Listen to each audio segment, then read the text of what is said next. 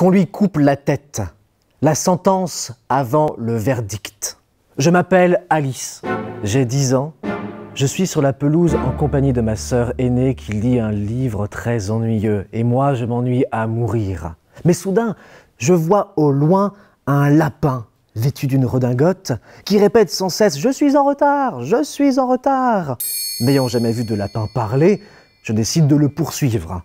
Je traverse la forêt derrière lui, il passe au travers d'un terrier, je le suis et je chute dans un trou très profond. J'atterris sur un tas de feuilles, je me retrouve dans un très grand corridor avec plein de portes et des serrures de taille et de formes différentes.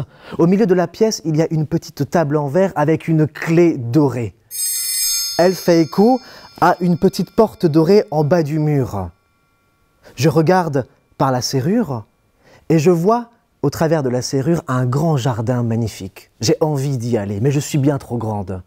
Je trouve une fiole sur la table, il est écrit dessus Bois-moi, je bois le liquide, et je me mets à rapetisser rapidement. J'ai enfin la bonne taille pour traverser la porte, mais j'ai oublié la clé sur la table.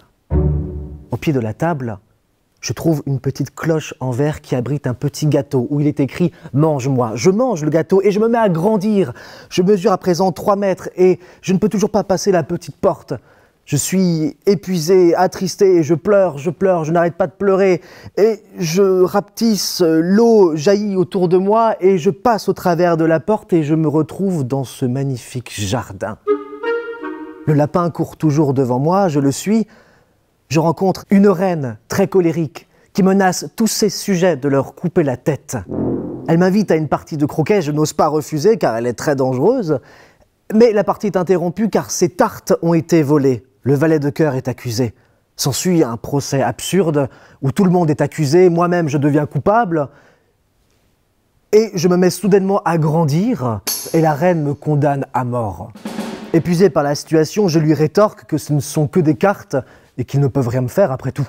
Ces soldats s'empilent les uns sur les autres, se jettent sur mon visage, j'ouvre les yeux, j'ai des feuilles mortes sur mon visage, dans les cheveux. Ma sœur est toujours à côté de moi en train de lire son livre. Ce n'était qu'un rêve, et pourtant ça avait l'air si vrai. Mais bon, c'est du théâtre.